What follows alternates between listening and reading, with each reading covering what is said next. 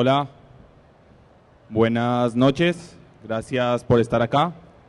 Primero que todo quiero agradecerles por acompañarnos en este momento y eh, agradecer especialmente a Telefónica por habernos hecho posible este deseo eh, que hace mucho tiempo todas aquellas personas que estamos trabajando con tecnología queríamos experimentar en un evento tan grande como este. Y pues gracias a ellos y a su esfuerzo eh, pues es posible. Así que les quiero pedir primero para, para Telefónica un gran aplauso por haber traído IPv6 a Campus Party.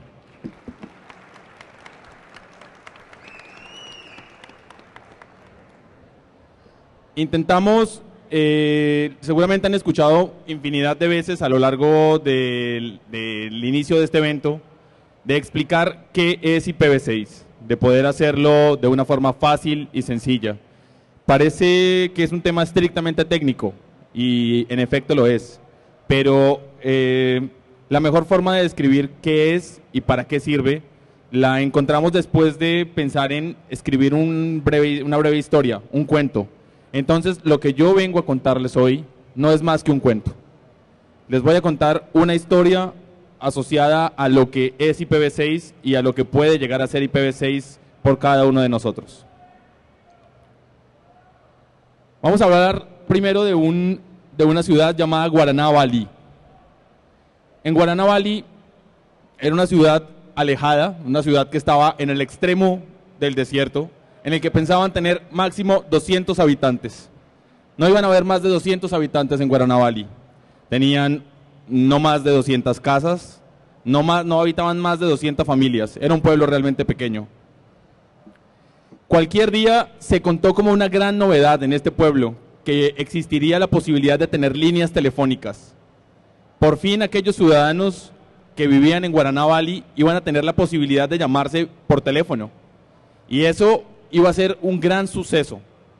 Todo mundo quería tener su propia línea telefónica en casa, aun cuando eran un pueblo pequeño, deseaban profundamente poder hablar con su vecino sin tener que salir de la casa. Y lo que la tecnología que facilitó esto fue el teléfono. Así que fue portada de los diarios locales. Tendremos líneas telefónicas, tendremos teléfonos en cada uno de nuestros hogares.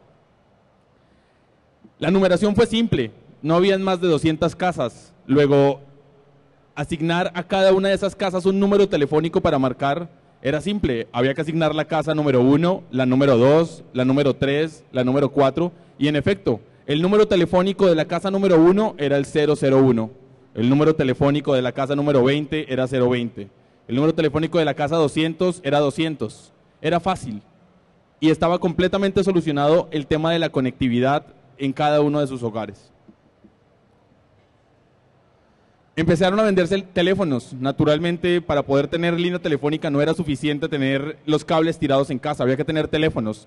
Y esos teléfonos tenían una particularidad, que es la que están viendo ahí. Esa particularidad es que estos teléfonos tenían tres botones. Y tres botones porque no habían más de 200 habitantes, solo se podían marcar tres combinaciones distintas de números. Luego venía el 1, el 2 y el 3 no era más que necesario tener teléfonos con tres y empezaron a venderse muy baratos. Luego cada uno de esos 200 habitantes pudo comprar su línea telefónica y su teléfono. Realmente era fácil.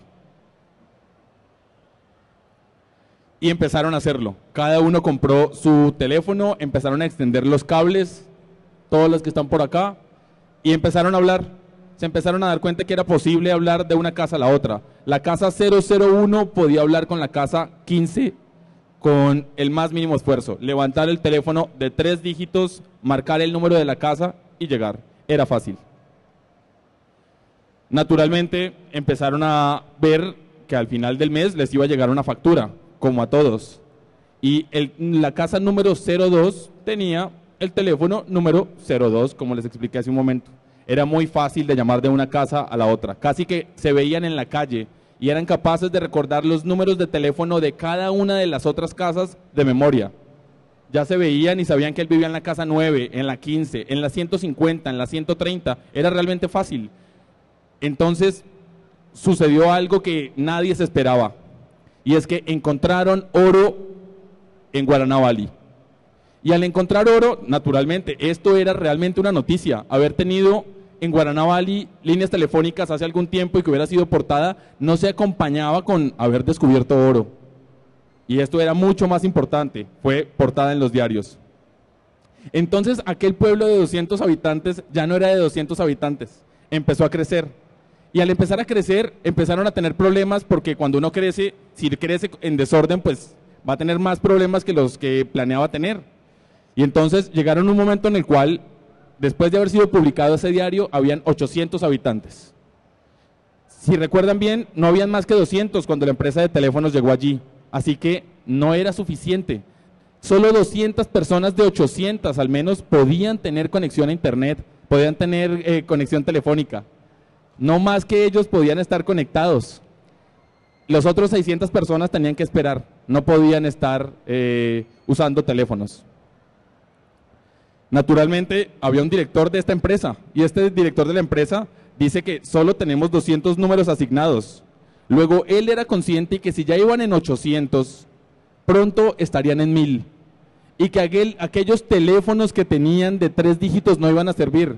Porque recuerden, si tenemos tres números, ¿cuántas combinaciones posibles de números hay si los estamos haciendo en orden? Pues no más de 999 posibilidades. Cuando alguien necesitara tener el número 1000, iban a tener un problema. Los números no iban a estar en la capacidad de conectarlos a todos. Tenían un departamento de I+D, de investigación y desarrollo, y él tenía que ver cómo solucionaba el problema. Tenía solo dos, muchísimos requerimientos, muchísimas personas queriendo tener una, la línea telefónica en casa y solo podían tener máximo 999. Así que el de I+D, como en cualquier departamento de I+D, pensaba en solucionar el problema de la forma más rápida y eficiente. Los problemas básicamente eran tres. Lo primero es que solo tenían la posibilidad de tener 999 líneas telefónicas. El segundo es que se equivocaban conectando los cables. Y entonces, si al vecino de la casa 1 le conectaban su línea telefónica 001 y al vecino de la casa 50, por un error del técnico, le ponían el mismo número 001, podía escuchar las conversaciones del anterior. Y entonces, por errores de instalación, podían empezarse a escuchar las conversaciones entre ellos. No, eso, cuando comenzaron a crecer, fue realmente complicado, porque aparte de tener pocos números, sentían que alguien más podía estarlos escuchando, lo cual era gravísimo. Y además, aquellos teléfonos de tres dígitos se volvían obsoletos. No sirve tener un teléfono de tres dígitos en un pueblo que tiene más de 999 habitantes. Las posibles soluciones. La primera sería tener un estándar que tenga un, eh, límite lejano, que tengan más de 999 líneas telefónicas. Para el problema de los errores de instalación, seguramente la solución, la mejor solución hubiera sido cifrar las conexiones, encriptar. Para quien no tenga presente el término de cifrar, básicamente es pasar una palabra en términos de algún tipo de combinatoria que permita que solo quien lo desea escuchar, conociendo la combinatoria, pueda descifrar el mensaje. Es el principio de la criptografía. Entonces, seguramente encriptar esas conversaciones hubiera sido una solución. Y la tercera, pues había que desechar los teléfonos. Necesitamos nuevos teléfonos. La primera solución, pues naturalmente el más fácil, inventémonos un teléfono de seis dígitos. Ahora podemos pensar en que hubieran, hubieran eh, suscitado teléfonos de 7, 8, 10, hasta de los mismos 9, 10 dígitos que tenemos hoy por hoy.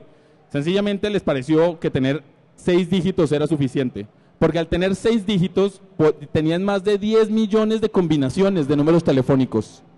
Al tener esos simples seis números podían tener hasta 10 millones de líneas telefónicas. Y eso era un límite lejano, era el, límite más lejano que podían pensar. La segunda era buscar encriptar esa comunicación. Entonces, si el emisor, que es este, emite un mensaje, el mensaje quedaba encriptado con una llave extraña y quien lo escucha y quien lo escucha escuchará el mismo mensaje que se emitió originalmente. Él no, a él no le importan algoritmos de encripción, no le importa nada, sencillamente él recibía el mensaje sin importar cómo se estaba originando. Y, eh, parecía una buena solución. La tercera solución, naturalmente, un teléfono que tenga un dial pad, un teléfono que tuviera muchos más números, con el que pudieran marcar cualquiera de esas 10 millones de combinaciones. Fue así como en Guaraná Valley ya tenían varios números de teléfono. Cada cual tenía su número de teléfono. Podían tener hasta 10 millones de números de teléfono. Ya tenían cables tendidos. Era realmente fácil. Habían solucionado un problema muy, muy, muy grave de una forma simple. Habían extendido la capacidad de la red, creando números más grandes para que todos pudieran estar conectados. Aquel director estaba muy contento con el Departamento de Investigación y Desarrollo, imaginamos. Incluso debió haberle subido el salario. Logró hacer que tres problemas que eran potenciales, que limitaban la capacidad de crecer de su compañía, fueran determinantes en el, desarrollo de la misma.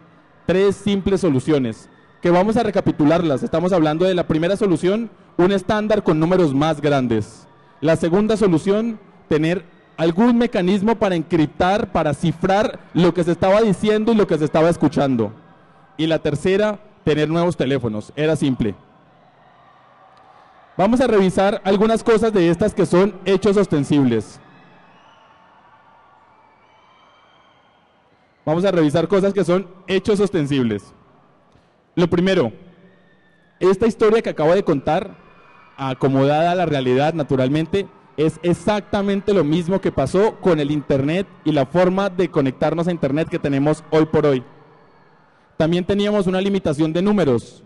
Esos números no podían ser más de 64 millones de millones de números. Y ese esa cantidad de números está por acabar. Estamos a 15 días, según el, contador de Hurricane Electric, para que los números de teléfono de esta gran Guaranavali, que es el mundo en el que vivimos, se acaben. Además, esos, esos números, esas comunicaciones que se emiten por uno y por el otro, se pueden escuchar. No puedo decir que son fáciles de escuchar, pero el protocolo no considera mecanismos para protegerlo, pues en este nuevo protocolo eso está incluido. Las comunicaciones están cifradas en el origen y se reciben como se emitieron de una forma especial después de haber viajado de forma, eh, de, forma de bits, de ceros y de unos. Y la tercera, tenemos que actualizar nuestro equipamiento tecnológico para podernos conectar a Internet con IPv6. Algunos de ustedes aquí han tenido que ponerle a sus ordenadores, a sus computadores, soporte para poderlo hacer básicamente generalmente software, no tienen que comprar máquinas nuevas, esperamos. Pero, pero realmente estamos hablando de que son los mismos problemas que tenía Internet. Internet nació, para quien lo pueda llegar a tener presente, el protocolo TCP/IP que usamos hoy por hoy lo existe básicamente hace 30 años. Seguro hace 30 años cuando Vinton Cerf creó esto, nunca pensó que Internet llegaría a donde está hoy por hoy. Así que hemos creado un protocolo nuevo que nos va a dar, esperamos, más de 30 años de vida o un límite indefinido de, de años con la tecnología que tenemos. Algunos hechos de esto que acabo de contar. IPv6 no es un producto, nadie les va a vender una caja diciendo que tienen que comprar IPv6, porque no lo es. No es una onda, no es una moda. No estamos hablando de IPv6 porque sea la moda hoy, porque alguien pretenda vender algo. Es algo que es un conjunto de productos y de servicios que tenemos que estar implementando y nuestros operadores de Internet y nuestros gobiernos tienen que estar trabajando con ellos. No es una burbuja. Seguramente en un año seguiremos hablando de IPv6 y en 10 y en 15 y en 20. No es un tema solo de hoy. Es real. Para quien tenga alguna duda, aquí tenemos seguramente, no tenemos algún antecedente documentado eh, distinto a este, tenemos el evento más grande conectado a Internet que existe hasta este momento. Nadie habla de un evento más grande que este conectado a IPv6 durante una semana. Pues creo que eso es un motivo para sentirnos completamente orgullosos. Y como lo dije hace un instante, pues aquí cada una de nuestras máquinas tiene conexión a IPv6 y eso es fundamental. Solo algunos números para finalizar y darle eh, el paso a Ari con su intervención. Lo primero es, ese número casi impronunciable son la cantidad de direcciones IPs que les corresponde a todos y cada uno de ustedes. Cada uno de ustedes tiene derecho a esa cantidad de direcciones IPs. Es un número casi impronunciable. Es 34028 por 10 a la 28. Que no recuerdo muy bien cómo, eh, cuál es la, la forma de denominarlo, pero cada persona de este mundo tendría derecho a esta cantidad de direcciones IPs, sumando a todos los habitantes del mundo. Vamos a hacer una simple comparación. Se estima, como, como cifra estimada, naturalmente, como una estimación, que en el cielo hay más o menos esa cantidad de estrellas. Ese número también impronunciable. Si esto fuera así, nos corresponderían más direcciones IP en IPv6 por persona que estrellas en el cielo. Así de simple. Podríamos llegar a conectar todos y cada uno de los dispositivos que tenemos con nosotros. Muchos de los fabricantes de tecnología tienen como limitación exactamente esto.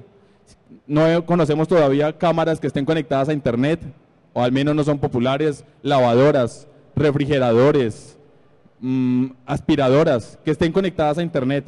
Pues con IPv6 cada equipo que quiera estar conectado lo va a poder hacer, porque tiene, va a poder escoger cualquiera de estas direcciones IPs, cualquiera de estas de ustedes o las de un amigo, va a tener direcciones IPs para escoger y saber que se va a poder conectar a una red tan grande como Internet. Se encuentran en Internet, en la página de la Oficina de Patentes de los Estados Unidos, documentos en los cuales se hablan de neveras conectadas a Internet. Si alguien leyó el libro Camino al Futuro de Bill Gates, habla de que tendríamos algún día este tipo de electrodomésticos en nuestras casas, o quien vio Yo Robot. Elementos que son capaces de estar conectados en nuestra vida. Incluso la medicina y la biología saldrían altamente beneficiados. Nanorobots que están conectados a Internet. Antes, con lo que teníamos, no era posible siquiera de considerar. Nos faltaban mecanismos eh, lógicos de conexión. Ahora no, ahora el problema es físico, ya el problema no es lógico. Tenemos un nuevo estándar, un nuevo mecanismo de conectarnos que nos abre las puertas a conectar casi cualquier cosa. Eh, hace tres días, mientras, hace una semana, cuando estábamos en este mismo lugar, sin todos ustedes acompañándonos, eh, estábamos sufriendo muchísimo porque hacer la instalación significó, yo por ejemplo, me rehusé casi toda mi vida a aprender hexadecimal. No me pareció útil y lo usé cuando lo tuve que usar, pero hexadecimal para qué?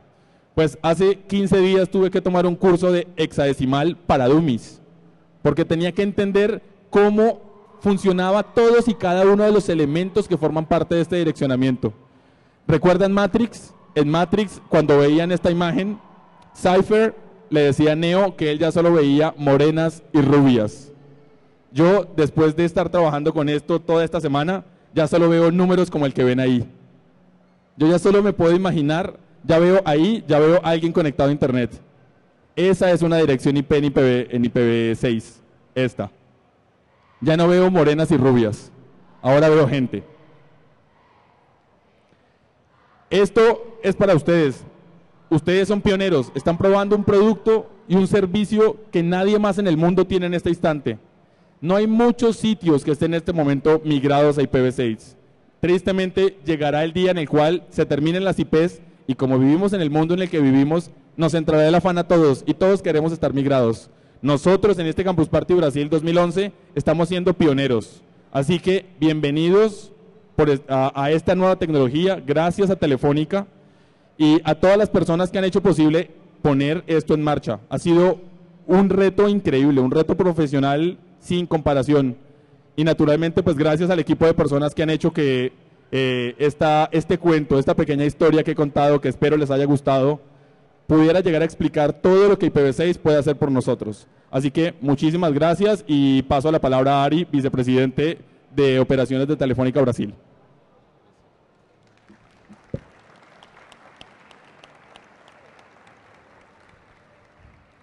Bom, primeiro, Pouca, muito obrigado. Acho que você foi extremamente feliz na tua, na tua apresentação, no teu conto. Também tenho que agradecer de coração a Futura, porque essa parceria com vocês nos proporcionou, nos incentivou, é, nos colocou um desafio de estarmos preparados para trazer para esse evento a tecnologia IPv6. E como você disse, não é um negócio que nós vamos comprar ali na, na casa da esquina, na loja da esquina. É um negócio para se desfrutar por todos. É, e é incrível, na, na simplicidade do que você apresentou, como o problema é real. há 10 anos atrás, quando se falava em 4 bilhões de endereços na internet, parecia um negócio insuperável, parecia ser uma coisa inatingível. E hoje a gente está a poucos dias de ter o esgotamento é, dessa numeração. Eu, por força de ofício e, e de trabalho, é, entendo, compreendo razoavelmente bem a língua espanhola. E tem uma palavra em espanhol que me encanta muito, que é a palavra ilusão. Ou seja, quando há dois anos atrás nós começamos os primeiros testes nos nossos laboratórios de IPv6, é, nós fomos ilusionados em ter condições de sermos aqui pioneiros juntamente com vocês no delivery desta, desta solução. E por que, que eu digo ilusionados? Porque parece muito fácil que a gente vá a qualquer fornecedor de tecnologia e encomende uma semana antes de um evento como esse um equipamento que tenha IPv6. Eu posso garantir a vocês que isso não foi e não é assim. Foi um trabalho duro de laboratório de dois anos com os maiores fabricantes mundiais de tecnologia discutindo o protocolo, fazendo alterações, recomendações, seguindo orientações, tendo a contribuição de vocês o tempo todo, para que a gente pudesse chegar nesse momento e com bastante tranquilidade, com bastante confiança, segurança, pudesse disponibilizar essa tecnologia aqui. É, os operadores como nós, claro, enxergamos nesta nova funcionalidade, grandes oportunidades e também grandes desafios. Como você bem disse, cada um de nós pode ter uma enormidade, uma quantidade imensa de endereços disponíveis. E eu tenho certeza que esses endereços serão usados. A gente começa a pensar o seguinte: há dois anos atrás, três anos atrás, eram raros os celulares que tinham um endereço IP cadastrado nativamente no seu produto, ou seja, poucos fabricantes disponibilizavam celulares com endereço IP. Hoje é o contrário. É muito difícil você achar um celular o mais simples possível, o mais simples, o mais barato que seja, que já não traga o seu endereço IP nativo. Quando você pensa em câmeras digitais, seja de foto, seja de filmagem, a coisa mais natural hoje é fazer um upload de foto para qualquer site na web. Não vou eu aqui fazer propaganda de site algum, mas é uma coisa muito natural. Qualquer criança hoje consegue fazer isso. E para conseguir fazer isso, tem que ter o seu endereço, tem que ter o seu chip e tem que usar essa funcionalidade. Quando a gente pensa numa outra indústria, por exemplo, a automotiva, a quantidade de eletrônica embarcada hoje nos carros, nos ônibus, nos caminhões, Todos hoje trazem features de rastreabilidade que vão precisar usar o que a gente está apresentando aqui, ou a evolução do que a gente está apresentando aqui. E como você bem citou, quando a gente pensa nos devices das nossas casas, nos house devices, home devices, você passa a pensar numa forma diferente de automação residencial e industrial talvez com uma menor complexidade em relação a tudo aquilo que a gente tem hoje. Então, é, é, é um universo bastante diferente que aparece à nossa vista. Outra coisa importante de citar, para qualquer operadora, não é uma implementação fácil. É uma implementação que tem que ser feita com bastante critério, com bastante planejamento.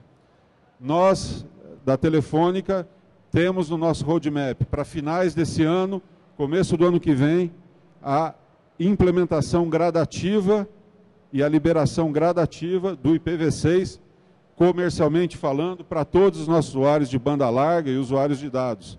Agora, o pioneirismo que a gente tem aqui é um pioneirismo que a gente também usa como experiência. A gente quer ouvir de vocês os feedbacks, as experiências, e ver se é possível, com a nossa junção, os nossos esforços, inclusive passar recomendações para os comitês de desenvolvimento internacionais de coisas que a gente pode presenciar numa, num evento como esse. Por quê? Eu acho que é extremamente difícil em qualquer outro evento no mundo você colocar 6 mil pessoas, 6.300 pessoas trabalhando dia e noite com tecnologia, explorando os limites da tecnologia de desenvolvimento de software, de desenvolvimento de aplicação, de comunicação, de transmissão de dados.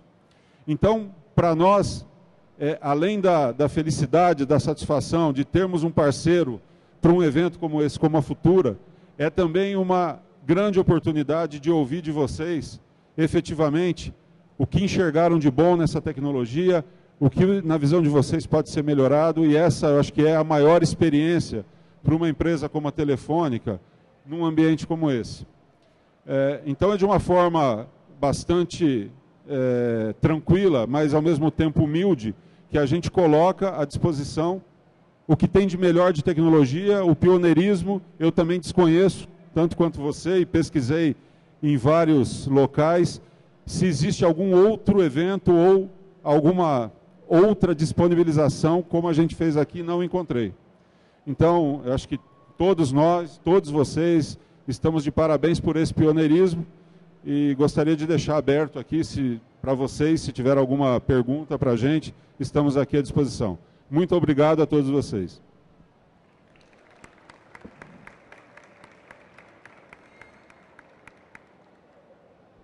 ¿Alguien tiene preguntas?